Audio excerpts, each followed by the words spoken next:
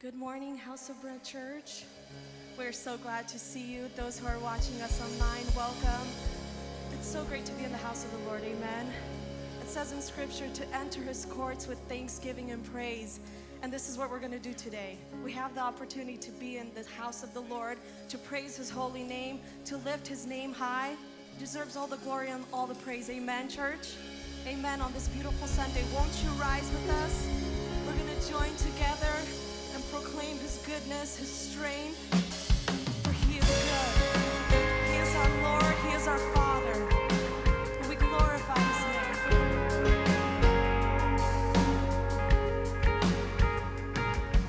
Sometimes on this journey, I get lost in my mistakes. What looks to me like weakness is a canvas for your strength. And my story isn't over, my story's just begun.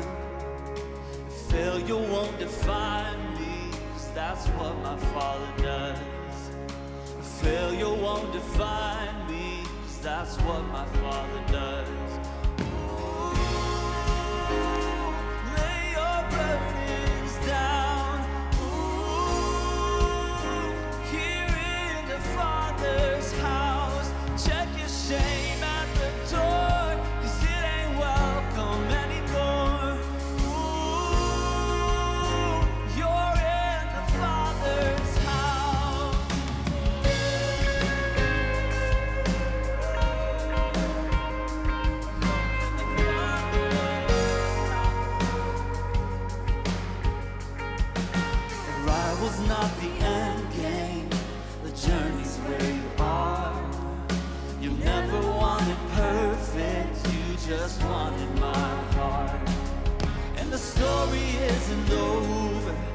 the story isn't good. And failure's never final when the Father's in the room. Failure's never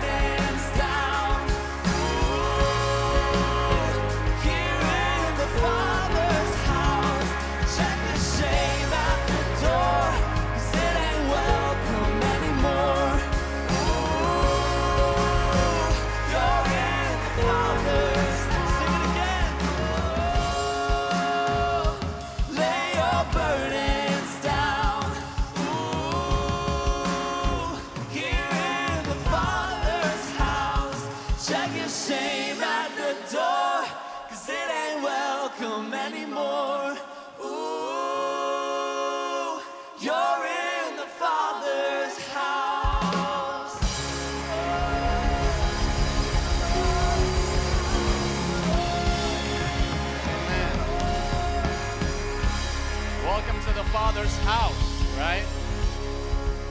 Um, welcome to the Father's house. And if this is the Father's house, then you and I, we are who?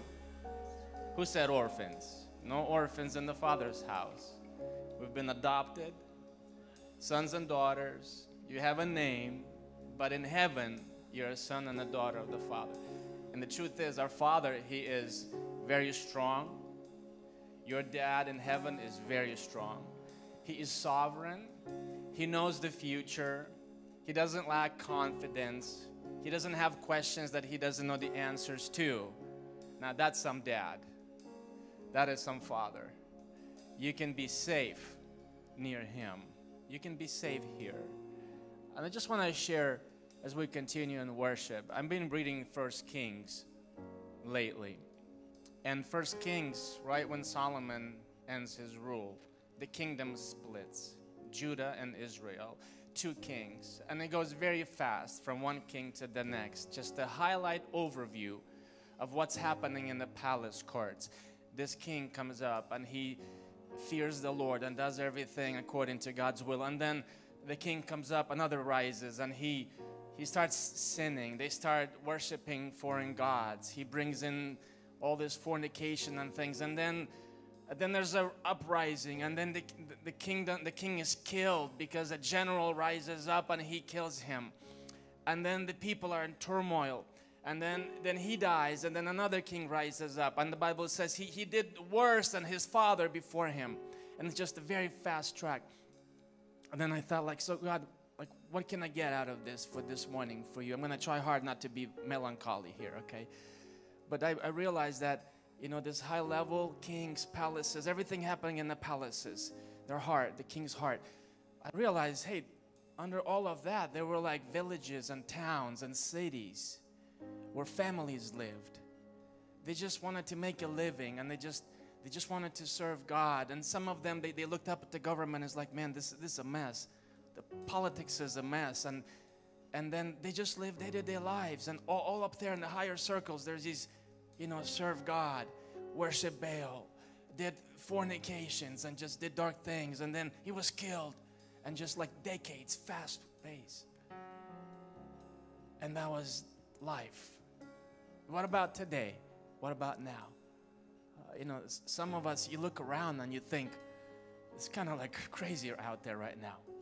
You know, you look at the government and, and you're like, well, I don't think I can influence much. You know, some of you, you know, some of some people in Ukraine, you know, they have nothing, they lost everything, and they think the world is coming to an end, literally. Um, some of you think that the world is coming to an end because you went to Arco yesterday and you filled up at $6.40 a gallon. And you think the world is literally coming to an end. Like you're serious. It's just big burden. you know, there's some things that you and I cannot change. They're just going to happen. There's many things that people could not change what the kings did in Israel and Judah. They just they were impacted, influenced by all those things. Many suffered because of the choices of the elite. You and I won't be able to change some things. We're just going to have to live in that time, good or bad. But here's one thing that we can do. We can change how your heart is going to behave. You have to let go of the things that you can't change in the economy, in the price of gas, in what's happening in Ukraine or any other part of the world. They talk about recession, inflation, the cost of everything going up. Some things you just can't change. But one thing you, you and I have control over is you can guard your heart and you can say, I'm to still worship the Lord. Amen. Even though my, the livestock is missing, even though the vine is not producing any grapes, I'm still going to worship Him because I've never signed up for this because of the things that He gives me in this life. I signed up for this because of the change that He brought into my heart in the first place. See, I've signed up because I'm in the Father's house and I'm safe there. No matter what happens there, I'm safe in the Father's house. And so, yes, I'm going to sing, Yes, I will. I'm going to sing in the valley. I'm going to sing in the hills. I'm going to sing yes. I can't change things, many of them, but I can't change. I can tell my heart, be steadfast, trust God, worship your God. You're in the Father's house, you're safe. So don't be afraid. I don't know what tomorrow holds. You had today something that you maybe never dreamed that you would have yesterday, and today you have it. Be careful because tomorrow, what you're holding, you might just lose it in a split second. And with that, maybe you lose your dreams if that's where you anchored your soul and your heart. Let's pray. Lord, we just gather here today. I know it can be overwhelming for us.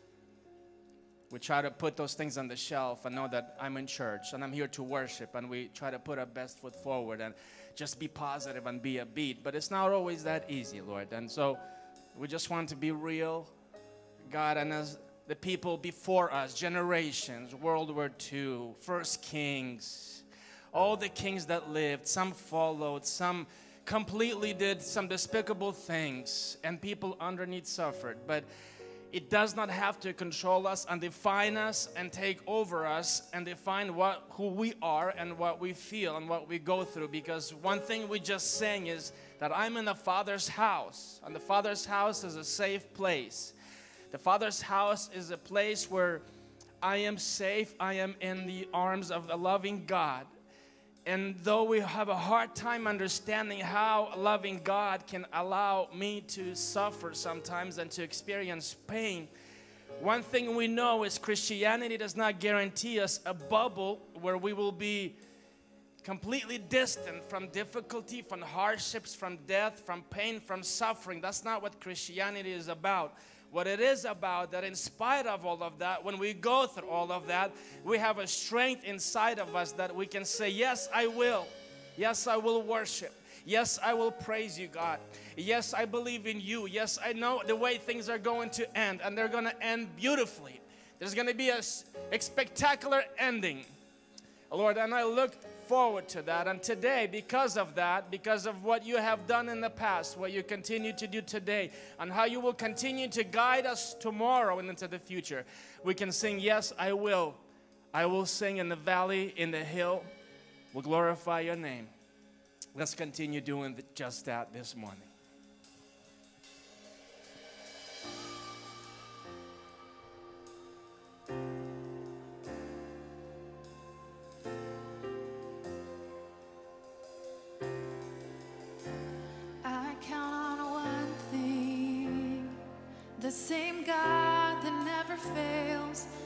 Not fail me now. You won't fail me now in the waiting. The same God who's never late is working all things out. You're working all things out.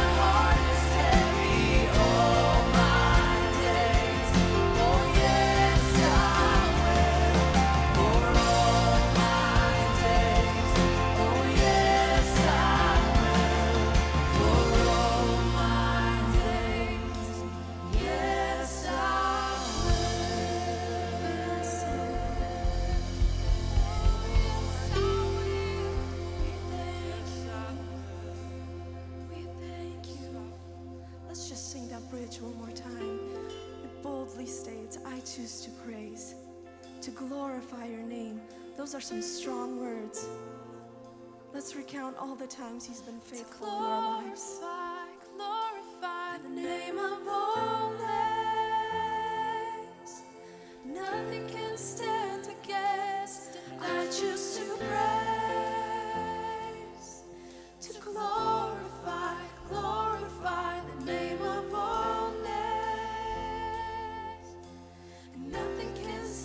stand against. And I choose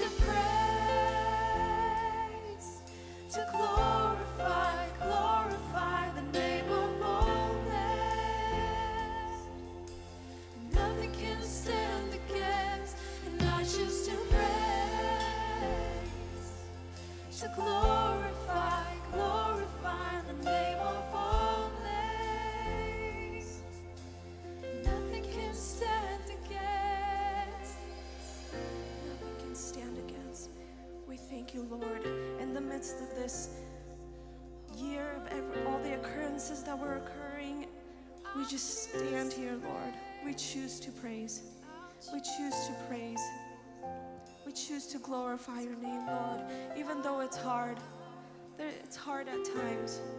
We all come here with so many different backgrounds and different stories. We choose to praise. We thank you, Lord. We thank you. We thank you, Jesus. We choose to praise.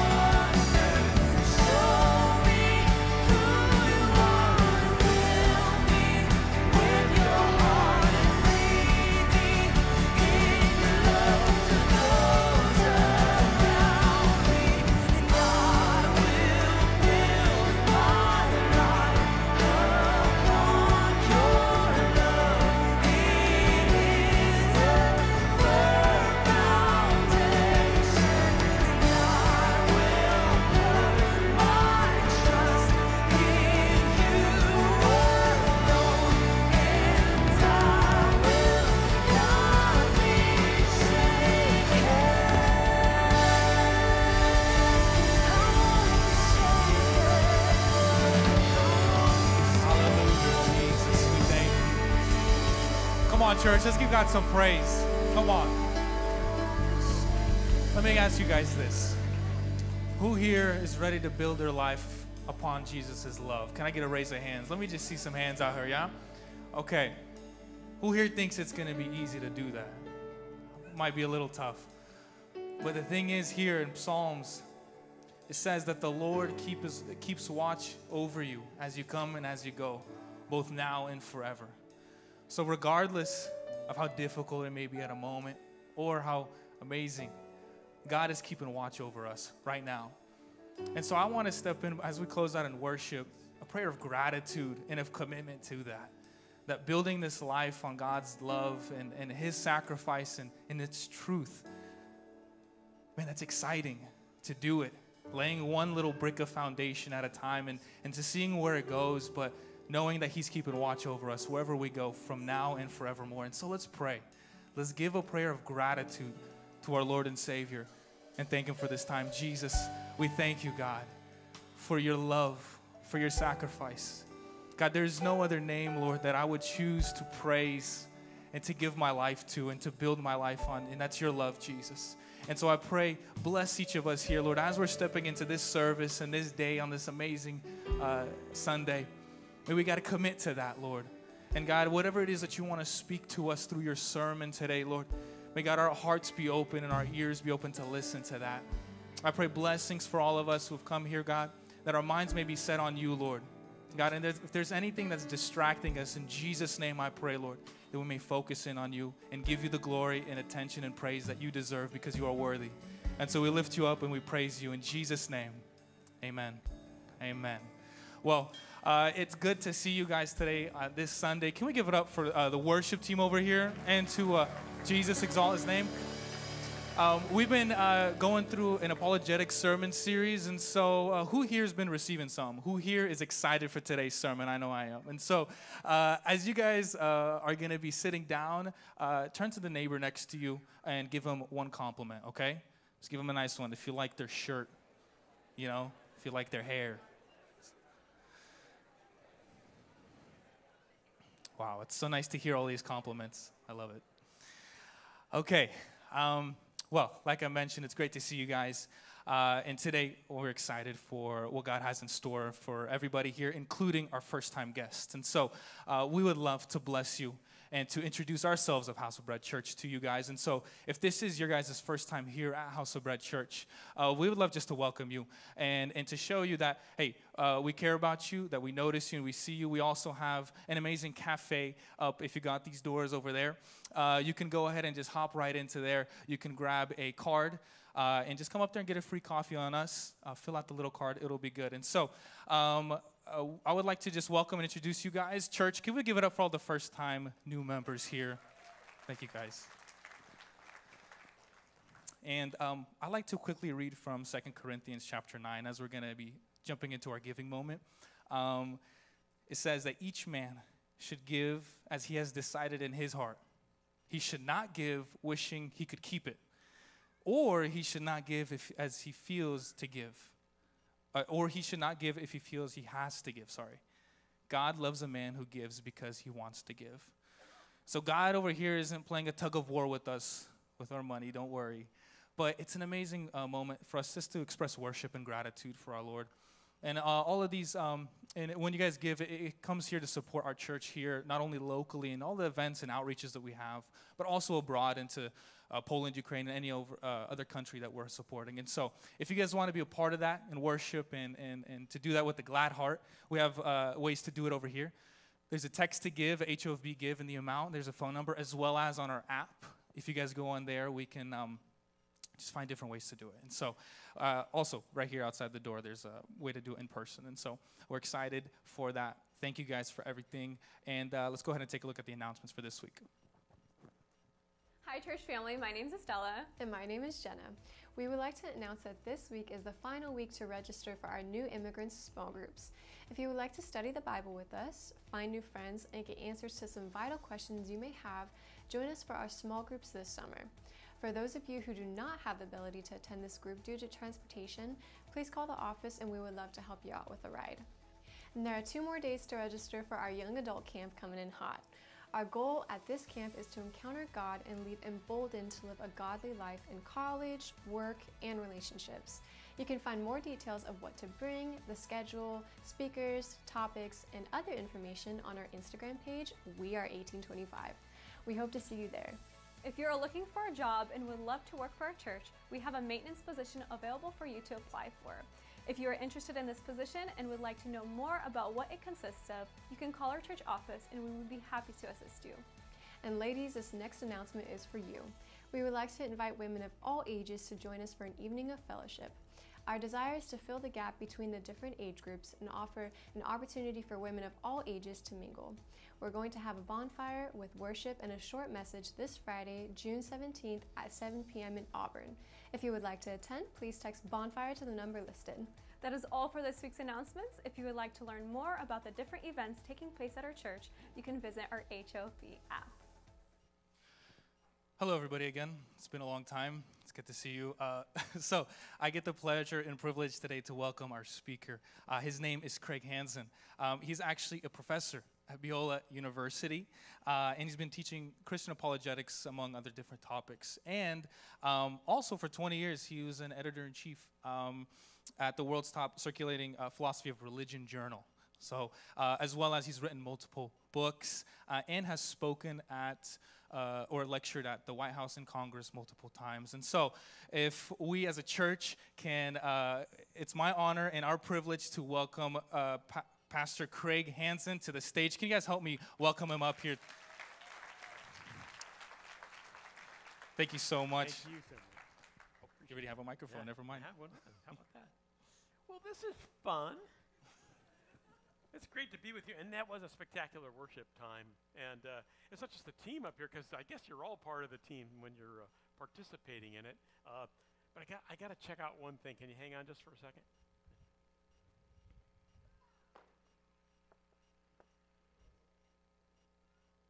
The world? You folks really love your drummer. I mean, you put him behind bulletproof glass. The, the rest of the worship team is open to the elements, but the drummer, he gets special. I mean, does, does the pastor preach from there when he does a controversial topic? The, it's amazing. I thought it was a dunk tank at first, but it's not. It's a, some sort of shield. Well, my name's Craig, and I'm from Biola University in Southern California, and glad to be here. And I'm going to be talking about the evidence for the resurrection of Jesus. And it will be a bit of an academic lecture, but I'll try to jazz it up as much as I can. Uh, I think the, a- the academic part of it just really carries it anyway, so it's, it's great fun. You will need a handout, by the way, for this presentation. Uh, looks something like this, you know. Does everybody have one? Did you grab one on the way in? Is there somebody who doesn't have one? Well, that's good. You're all, you're all ready for action. Terrific. Uh, in case you do enjoy some of this, I brought along a couple of resources for deeper learning. And this one is the favorite one that I brought called, uh, it's one of my colleagues wrote this book called The Historical Jesus Ancient Evidence for the Life of Christ, Gary Habermas. Wonderful book, accessible, easy to read, answers all the big questions, not only for the evidence of the resurrection of Jesus, but it also takes on very important questions like what kind of what kind of source material is there about Jesus outside the New Testament? This is one of the finest books dealing with that question, too, and all kinds of other things. Uh, some books that I've written, I've brought along, uh, I'll just highlight one here called Fearless Prayer. Uh, this is a book I wrote because there was a particular Bible verse that, that just, I didn't know what to do with it. It was John chapter 15, verse 7, where Jesus says, If you abide in me and my words abide in you, ask for anything and it'll be done for you.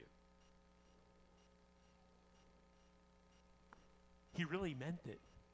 That's the astonishing part. So I had to write a book on it because he really meant it. Uh, if understood properly, it's one of the most exciting passages in the New Testament, in my view. So I had to write a book on it. So check that out if that intrigues you.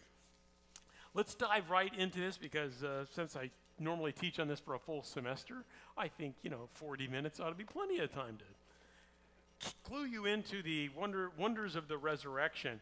Uh, first of all, let's find out how important this topic is in Christian life. Uh, by the way, I did my doctoral work in religious studies at the University of California in Santa Barbara. Usually people will go, yeah, go gauchos. Not sure what a gaucho is, but you know, go gauchos. And by the way, going to do a doctorate in religious studies at the University of California is really not the general way Jesus loving, Bible believing Christians go. You know, it was a challenge every step of the way. But it also showed me that Christianity is a dramatic standout. It stands apart from the other great world religious traditions in rather dramatic fashion. And one thing that really sets it apart, in my view, after studying all of the great world traditions like Islam and Hinduism and Buddhism and you name it, uh, is that Christianity is a testable religion. It's testable. And what I mean by testable is you can offer evidence for it, you can offer evidence against it, and the evidence actually means something. In other words, you can become a follower of the Lord Jesus Christ by carefully assessing the evidence in the case. Now, let me demonstrate this by reading to you what I would consider to be one of the strangest passages in all of religious literature. You're not going to find something like this in the Bhagavad Gita or the Buddhist Tripitaka or the, the Quran or the Book of Mormon. This comes from 1 Corinthians 15. In fact, let me re- I'll read it to you and see if you can figure out why I would call this one of the strangest passages in all of religious literature. Paul writes this 1 Corinthians 15, starting with verse 12. But if it is preached that Christ has been raised from the dead, how can some of you say there is no resurrection of the dead? If there is no resurrection of the dead, then not even Christ has been raised. And if Christ has not been raised, our preaching is useless and so is your faith. Really? He continues. More than that, we are then found to be false witnesses about God, for we've testified about God that He raised Christ from the dead. But He didn't raise Him if, in fact, the dead are not raised. For if the dead are not raised, then Christ has not been raised either. And if Christ has not been raised, your faith is futile empty, worthless would be synonyms there. And you're still in your sins. Then those also who have fallen asleep in Christ are lost. If only for this life we have hope in Christ, we are of all people most to be pitied. Well, why would I call that one of the strangest passages in all of religious literature? Because it's madness. You know, if, if the Apostle Paul was actually out there trying to set up his own new religion, this would be ridiculous, you know? Uh, you, if you're going to if you're going to try to start your own religion, you really need to pull off something big, like an actual resurrection, you know? You can't just pretend. And the Apostle Paul is, is, uh, is making that abundantly clear right here in this passage. He would say this with boldness. And the reason he can do that is because he himself was an eyewitness of the risen Jesus. And he knew all kinds of people who had also seen him. And he trusted God that God would protect that evidence as, as it came down to us through the centuries and landed in our laps today. So, the resurrection of Jesus is very important material. According to the Apostle Paul, if it didn't really happen, Christianity is bunk. Go do something else, for goodness sakes. Quit wasting your time with it if Jesus didn't come back from the dead. Other religions just don't set things up like that. But it's because the evidence is so clear and compelling that Jesus did come back from the dead, we proclaim that from the rooftops. All right. I understand that uh, Josh McDowell was here last week. Is that right? Is it last week or a couple of weeks ago? So you had Josh McDowell here. I'm going to start off talking about Josh McDowell. He was he was the guy you know whose books I read when I first became a Christian, you know, uh, uh, late in high school, and it was like the, the only apologetics books around. So you read that stuff, and I remember very clearly in his book Evidence That Demands a Verdict and in uh, More Than a Carpenter that he uh, presented a way of defending the resurrection.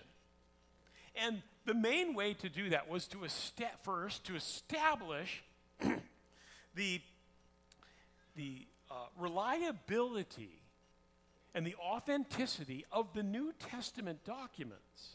Because those are going to be the primary witnesses to this resurrection. We have to, we have to understand that these documents are, are reliable historical sources. And so in his books, he spent a lot of time establishing that. And then he would use those reliable documents to make his case that Jesus came back from the dead. Sounds good. In fact, I think that's a, that's a wonderful way to go about it. Perfect uh, stepwise fashion. There's a problem with it, though. It's a problem with it. And uh, I'm a good friend of Josh McDowell's. In fact, his son is actually uh, one of my faculty members at uh, Biola University. And uh, if Josh were sitting here, I'd say, Josh, it doesn't work anymore. And he would agree. It doesn't work anymore. Why doesn't it work anymore? Well, let's say you go to a secular college campus and you want to make a case for the resurrection. And you say, first, we're going to establish the reliability of the New Testament documents. So let's all open up to 1 Corinthians so and so. And what would the skeptics on campus go? put that book away. We're not going to listen to that violent, greedy, homophobic, whatever book. In other words, they have no respect whatsoever for the New Testament. That ought not to be the case, but it is, unfortunately, the reality. And so, you making your case from the New Testament, it falls on deaf ears very quickly. I've had this happen dozens of times. So, we need another technique. Do we have one? Well, yes, we do. We are the creative people of God. I think we ought to be ready for an alternative way to demonstrate the truth of such an important historical event.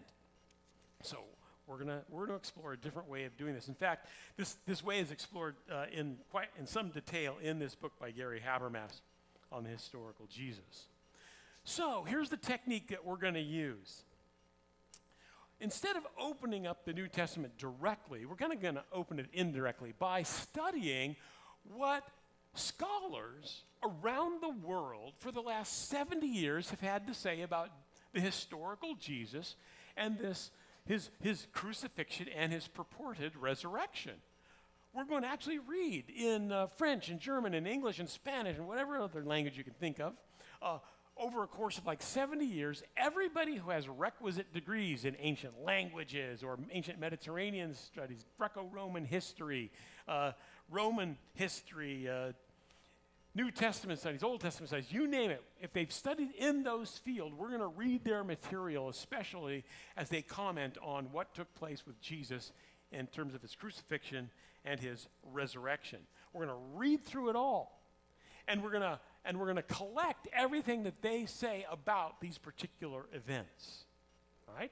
That's going to be our starting point. So it's very scholarly and very clear. And understand that the scholars I'm talking about, there's many hundreds of them, and they do not, I guarantee a lot of them do not agree with me. They are not, you know, uh, Jesus loving, Bible reading Christians.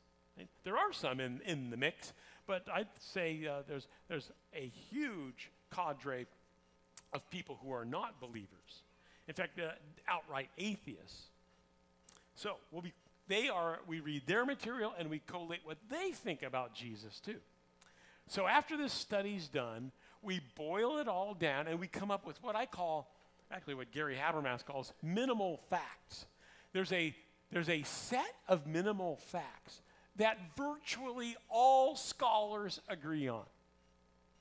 Everybody virtually all scholars agree on these this set of facts that I'm going to give you. In fact, you're going to need this side of the page. At the top it says, Did Jesus really rise from the dead? At the top it says, A list of the bedrock facts surrounding the death, burial, and purported resurrection of Jesus. Virtually all scholars in the field of study agree with the following. So, y'all, y'all tracking with me? We read all this material over the last 70 years. We put it together, we boiled it down, and these, these are the facts that virtually all scholars, whether believers or not, agree with. All right, so that's where we are. Let's take a look at some of these facts. They do a lot of the heavy lifting right on their own. So I'll read through these with you and I'll make some comments along the way. Let's dive in. Point one Jesus died by Roman crucifixion. Right? Uh, by the way, that is, that is not a disputed fact.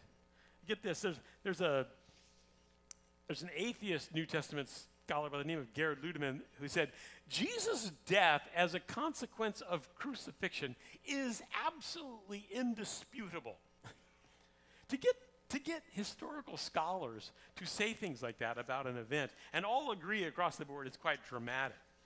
So, Jesus died by Roman crucifixion. He didn't almost die, right? He died. And there's a reason scholars are really big on the fact that he, that he died and didn't almost die. It's because uh, in the modern world with good medical science, we know what happens to people when they get crucified. And it's terrible and it kills them. All right? They don't almost die from it, they die from it. And there's a way to know. I mean, if you, if you nail somebody to a cross and they're hanging there, in order to get a decent breath, they have to push up and pull up. Pull up with their arms, push up with their legs. Of course, you've got nails through your wrist rubbing on raw nerves and in your ankle bones too. It's, it's a hideous thing just to get one breath. And back down you go. If you're not pushing up anymore, you're not getting enough air exchange to keep you alive. And we know this because we've done some study in physio- modern physiology labs. You know, we, we, uh, we, we just bring in grad students and we crucify them, you know. Uh, and, we, and we measure, you know, respiration and blood pressure and you know, anxiety and all kinds of things. Okay, we don't actually na- put nails through their arms, but we hang them from cross beams to see what kind of reaction there is. And it's incredibly distressing.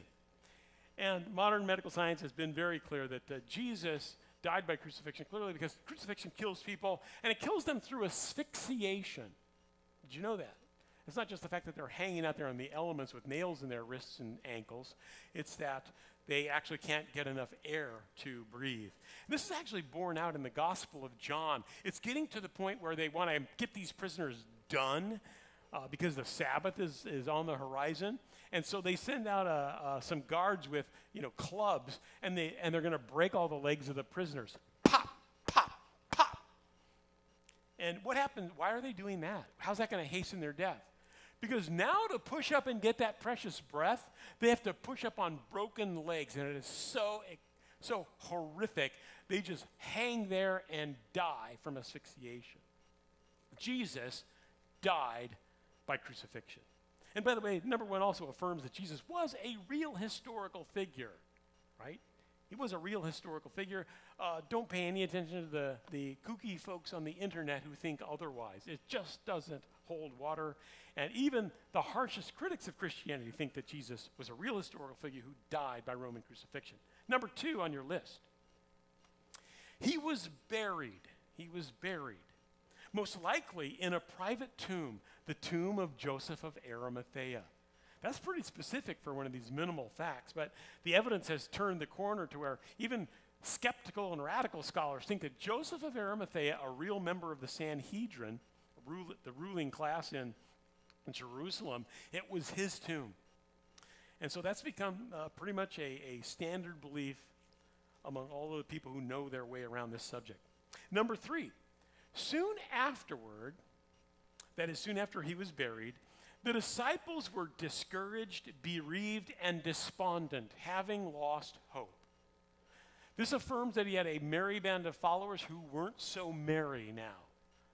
He died and they put him in the tomb and they were bummed out big time by this.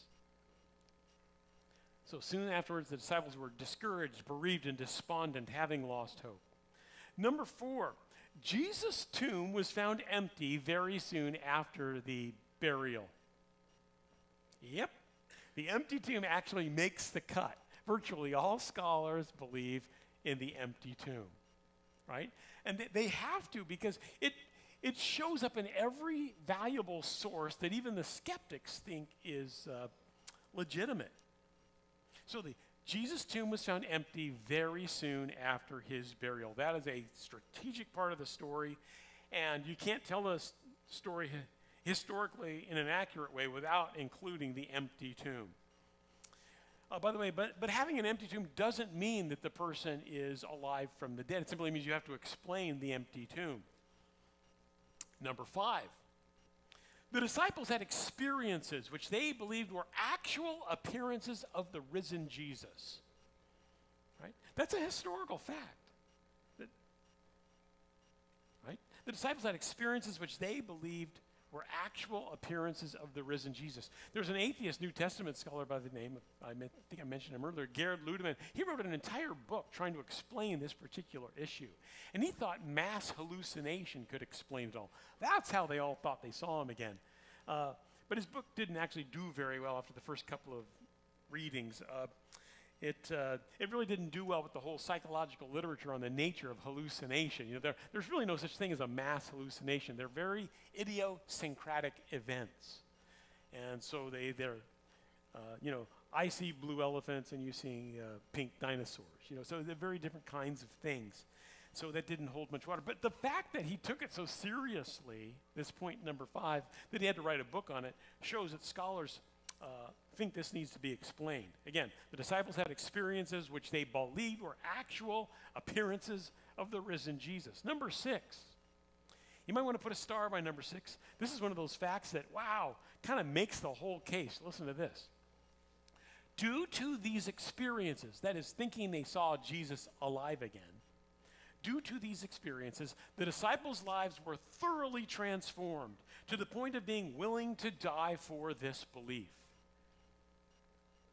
That has to be explained. Uh, So, this is a bedrock fact that virtually all scholars agree with. Uh, these apostles, these, these, these disciples, had this experience, and they went out throughout the Mediterranean region proclaiming this message. And to the point of being willing to die for this belief. And we know several apostles went to their deaths proclaiming this. They died because of their witness to this particular event. In fact, uh, I mentioned Josh McDowell. His son Sean McDowell actually did a study on the fate of the apostles for his doctoral dissertation. And uh, it's really a wonderful book and highlights what happened to all the apostles as best we know. Some apostles we don't know what exactly happened to them, but some, especially like Peter and Paul, it's kind of a slam dunk. They were killed in Rome uh, uh, at the point of presenting this message. So that has to be explained. How did these folks have a transformation where they went out from doubters and unbelievers, really, to, to bold proclaimers of the death and resurrection of Jesus? That has to be explained. And I got to tell you, folks, the only way I think that can be explained is that Jesus actually came back from the dead. I don't see any other historical option here. Uh, but let's move on and see what else is on the plate. Number seven, the resurrection message. The resurrection message was the center of preaching in the earliest churches. Why is that important? Well, why not something else? I mean, if the resurrection did not happen, how did it become the center point of preaching in the early church? Why not uh, love the Lord your God with all your mind, heart, soul, and strength? Why not that the center point of preaching? You know? Why, why are they so obsessed about talking about Jesus back from the dead? Uh, in my opinion, because it really happened and it just blew their minds. So, little editorial insertion there. Number eight, this message, that is the resurrection message, was especially proclaimed in Jerusalem where Jesus died and was buried shortly before. Uh, why is that important?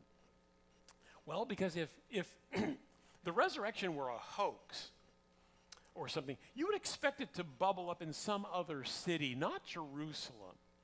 The reason being, Jerusalem is where everybody was who knew something about this. I mean, you got, you got uh, Jewish elites, you got Roman guards, you got Jewish guards, you got all kinds of witnesses who were watching this stuff play out who could pull the plug on it if it were not true.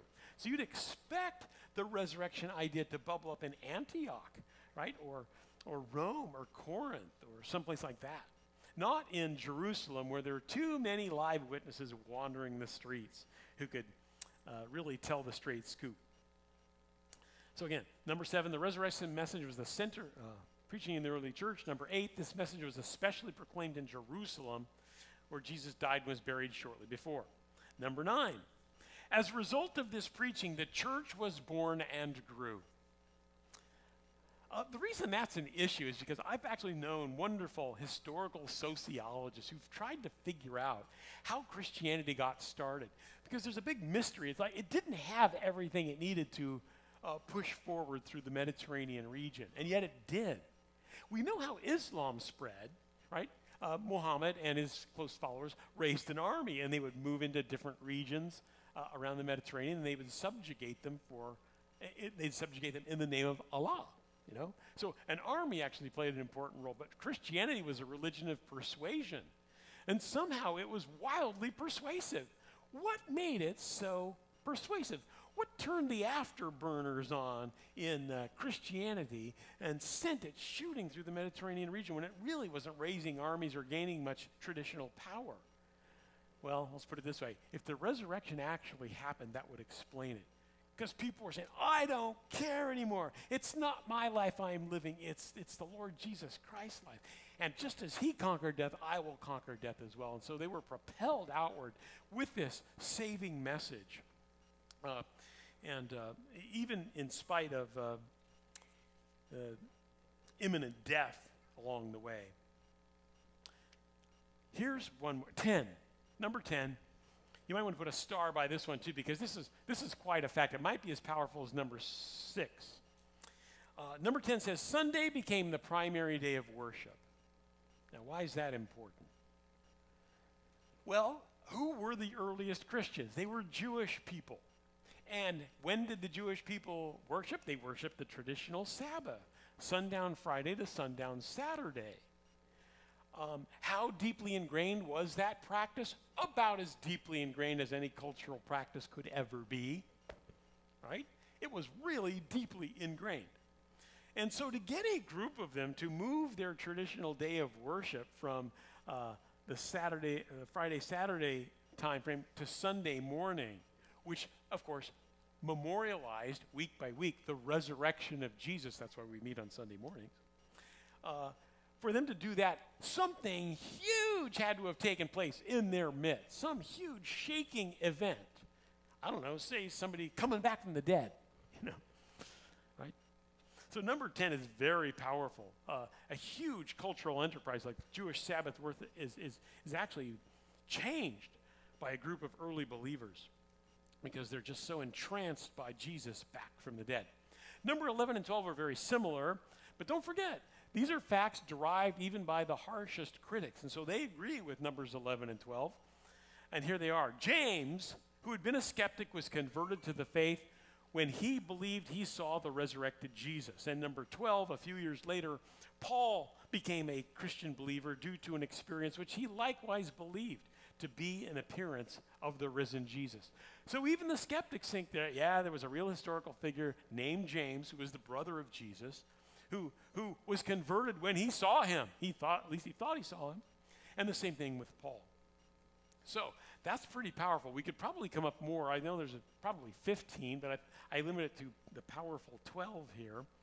So what do we do next? And this is what really intrigues me. I love talking about this on secular college campuses because if, if the campus Christian group says, ah, we're bringing in a, uh, a scholar to talk about the resurrection of Jesus, the folks on campus think that I'm going to come in and I'm just going to talk about uh, how Jesus makes me feel, you know?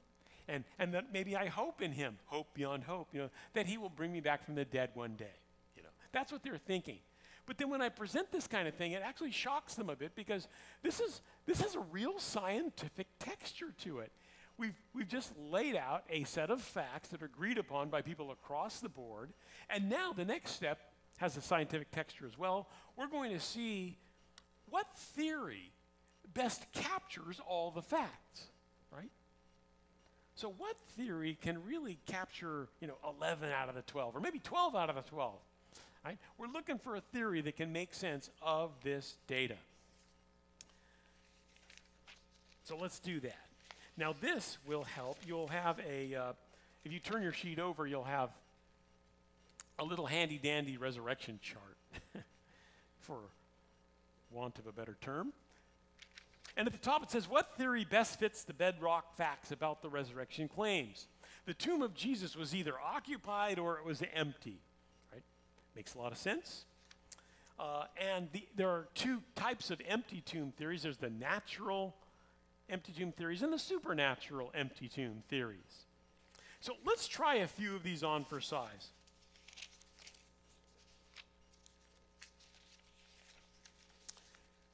Oh, goodness. Some of these just aren't really worth talking about, but they've, they've kind of made their way down through history. Uh, here, here's an example. Let's, let's take the one clear to the uh, left of the page as you're looking at it the unknown tomb theory. So there's a theory, it's called the unknown tomb theory, and I've drawn a line down to, down to a set of numbers, 4 through 12. those numbers are facts that don't fit that theory. So we're really looking for a theory that where it says none, all the facts fit. That's what we're looking for. So some of these have a lot of facts that miss, and some have a few facts that miss. For instance, the unknown tomb theory. This is not going to rock your world, but listen, here it is. It was, it was hot stuff in 1800s France. The body of Jesus was buried in a common pit grave unknown to his disciples. Therefore, the resurrection account arose out of, out of the ignorance as to the whereabouts of the body. Well, none of you are leaping out of your seats with joy on that particular theory. It doesn't really ring a lot of bells for folks. Uh, but then you compare it to the one next door, the wrong tomb theory. Here's what it says. Uh, and notice it's one data point better, right? It actually captures number four. The wrong tomb theory says the women came to the wrong tomb, for there were many similar tombs in Jerusalem. They found an open tomb and a young man who denied that this was Jesus' tomb. The frightened women mistakenly identified the man as an angel and fled. So, uh, I'm claiming that the wrong tomb misses on data points numbers 5 through 12. It's actually helpful with the empty tomb because the women went to the wrong tomb, right? According to this theory. Jesus was, you know, uh, laid to rest in another spot. You know. Now, by the way, this has this has problems written all over it from the beginning, doesn't it? Because we know the women wouldn't have gone to the wrong tomb. Women ask for directions. I could totally see Peter going to the wrong tomb. Dude, I totally know where it is. Yeah. I could see that, but not the women going to the wrong tomb.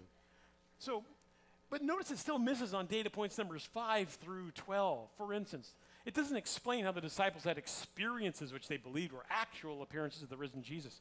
It doesn't explain, like number six, how the disciples were transformed. It doesn't explain how Sunday became the primary day of worship or how James and Paul ended up seeing uh, Jesus alive. It doesn't explain any of that. It's a bad theory. The next one's even worse. Look at the legend theory. The legend theory, as you can see by the number uh, the, the numbers there, uh, misses on all 12 data points. It's the worst theory of all. Yet, guess, guess which one is by far the most popular theory? It would be the legend theory. Uh, it's, it's a miserable theory, misses on all 12 data points. It basically says that the resurrection was a fabrication that evolved over a lengthy period to vindicate a leader long since dead. It's a legend. It's like Paul Bunyan and Babe the Blue Ox you know? Yeah, somebody made it up. Maybe Jesus really did exist at one point, and he, and he had like a healer's touch, you know? And then they liked this guy, so they told stories about him around the campfire for a couple of generations, and pretty soon, you know, he's, he's uh, walking on water, he's multiplying loaves and fishes, and he's casting out demons and the whole thing, you know? So the, it just grows as a legend, as, as you would expect a legend would. Uh, problem is, it just misses on all 12 data points. It doesn't take a single one of them seriously, and so it's a problem. So we cast that aside, even though it's the most uh, popular. There's rescued by Allah. That's the Islamic theory of the resurrection. It's actually the strangest uh, theory that's come down through history. Here's what I won't go into the details of refuting this, but I'll, I'll give you what it says. Uh, the Islamic take on Jesus and his resurrection is Jesus was taken up by Allah to avoid crucifixion and will return to die another day. Another was crucified in his place, one that Allah made to look like Jesus. So that's the Islamic theory of how this plays out. It misses on some important data points, like uh, 4 through 12, and maybe some others. Uh, so it's not a particularly good one. But here's one that actually uh, seems to be a lot better with regard to the evidence the identical twin theory. The identical twin theory says this Jesus died and was buried, but soon thereafter, his long lost identical twin brother emerges on the scene and is worshiped as the risen Christ you know, that, that borders on the crazy stuff, but it does, it does pretty well with the evidence. Now, I'm claiming here that it misses on data points numbers 4 and 11, and it does. It misses on the empty tomb. If Jesus A is crucified and he's put in the tomb, and Jesus B uh, arrives on the scene, lo, it is I. Uh, where is Jesus A? He's still in the tomb. So you can imagine that if guys had some wonderment about this Jesus B who suddenly appeared on the scene, they might go, to the tomb, and they'll rush off to the tomb to see what's going on there because so so there's a way to check this out. I'm also claiming that it misses on data point number 11. This is an important one. James, who'd been a skeptic, was converted to the faith when he believed he saw the resurrected Jesus. Why is that an issue? Uh, well, James was Jesus' brother, right? Uh, and it'd be hard to believe that Mary didn't actually talk about giving birth to twins, and one of them being uh, taken off to uh, some far off region to be raised by wolves, you know, or something. It just doesn't make a lot of sense. My wife has given, given birth to twins, and it's not something you forget, right? It's something you might actually share once in a while, especially with the family. So James certainly would have known about that. So it doesn't help there. Uh, James would have uh, had some serious problems with this idea. There's the hallucination theory. Uh, misses on data points 4, 5, 11, and 12. I mentioned that earlier. Gerhard Ludemann was a champion of that. That's still uh, problematic in missing the data points. I won't go into the rest of these. There's the spiritual or existential resurrection, where really Jesus uh, rises in spirit rather than in his own body. Others, the disciples stole the body. That's literal, the, literally the oldest one in the book. You actually find that in the Gospel of Matthew. It's never persuaded anybody. Neither is the next one. Authorities hid the body. It seems like the authorities would have wanted to produce the body in order to keep everybody quiet and keep order in society. Well, here's one the swoon theory. It only misses on two data points, so let's take a look at that one. The swoon theory says this Jesus did not die on the cross. Rather, he fainted from exhaustion. The cold temperature and the spices revived him. So, this is how the swoon theory goes. Uh, they, they crucify Jesus, uh, they pound the nails in, and uh, uh, they think he's dead. He's, he, he doesn't quite die. You know, his breathing is very shallow, can't detect a pulse. They take him down from the cross, they wrap him in spiced linens, is what they would probably do in their burial customs, and put him in the rock hewn tomb, which presumably would be a cool place. And in the cool of the tomb, and with the spices acting like, like a kind of smelling salt, know, Jesus wakes up, you know. And then, uh, I mean, man, I'm going to say a lot of ludicrous things now. Somehow, don't forget, he was just crucified. He just hung there for hours. His, his pulse was so undetectable, you know, that, that they thought he was dead, so he was really in bad shape. But somehow, Jesus is either able to move the stone, right, or to tunnel out. And then he either sneaks past the guard or he overpowers them, right? Uh, all of this, well, then, he, then he's looking for his followers, his merry band of followers, his disciples. And so he's wandering around Jerusalem in his very bedraggled, uh, beat up state. And he finally finds where they are and he knocks on the door. Um, disciples uh, open the door, and there's Jesus in, in a heap at the doorstep, right? He, he looks terrible. So the disciples all gather around the door and they look, and what do they do at that point? Do they go, Glory, hallelujah, this man has just conquered death for you and for me? Mm, probably not. I think they go, oh no, quick. And they'd scoop him up, they'd put him on a donkey, and they'd trot him down to, uh, you know, Jerusalem General Emergency Room and, and, and, and, you know, bandage him up and maybe a little, I don't know what they would, but they, you know, he would have been in terrible shape. And so it would not be, as, as I say in number six, a transformative event for these disciples. In fact, even uh, David Friedrich Strauss, uh, a New Testament scholar in 1840, said, Look, I don't believe much of the New Testament, but anybody who thinks that uh, Jesus just barely surviving crucifixion is going to be a transformative event needs to go get a new scholarly hat to wear. So, all right, we've gotten through all of those. Uh, there's, two, there's two others, uh, and both of these capture all the data. There's the space alien theory, and God raised Jesus. Uh, I probably should take that space alien thing off of there. But I ran into, I did my graduate work in Santa Barbara, and I went to a, like a whole Earth or New Age fair there.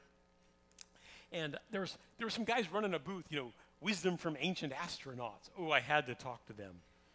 I was the only guy talking to them, so I had to go talk with them, and I had a little chat with them about this idea. These guys had explanations for everything in the Bible, you know, based on the technology, well, the purported technology of, you know, space aliens that were in orbit around the Earth, you know. They had transporters and all kinds of cool stuff. Just, I mean, these guys clearly watched way too much Star Trek, Star Wars, Star whatever.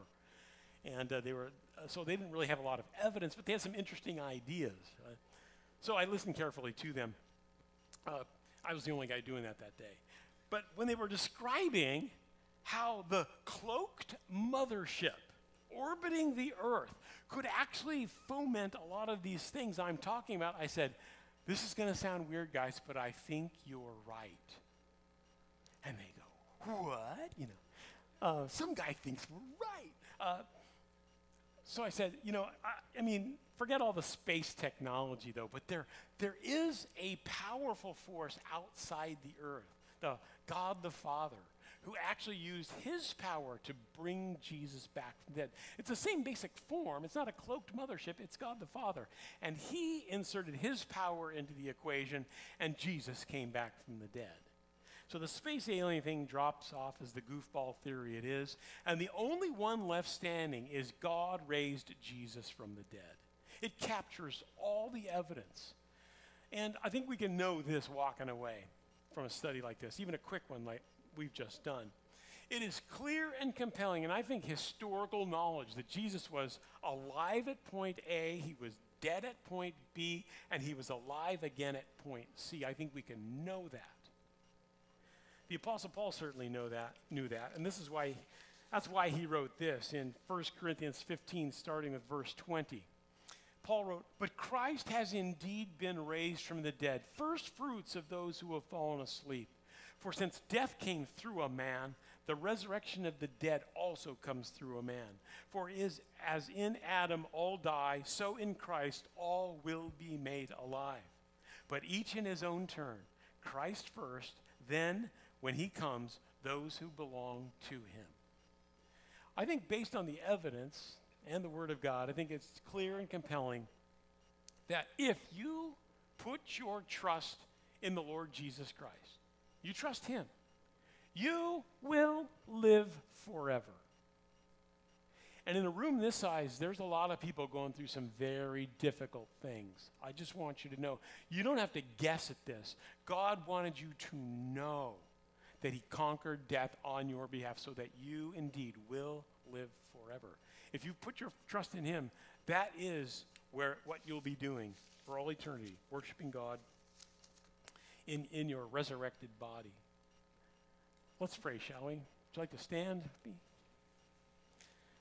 Our Heavenly Father, our great King, what a joy it is to serve you. What a joy it is to know that you didn't leave us stranded at this point in history without a tremendous witness Father, but you, you left a tremendous trail of evidence back through history testifying what you did on our behalf. You wanted us to know these things are true. And I pray that that message would sink deeply into my brothers and sisters here today and that they would be bold for you. That, like we saw in point number six, that we'd all go out and proclaim this message, being transformed by its power and prepared to present it anywhere you take us. Fill us with your spirit, fill us with your courage. And God, we just thank you so much. We just glorify you in everything that we do. In Jesus' name, amen. Thank you so much. All right, let's give it up to Dr. Craig. Thank you so much for such an amazing word. Thank you. God bless you. We have amazing books and resources in the back so you can buy, share with your friends. God bless you and see you next Sunday. Let's give glory to God one more time. God bless you guys.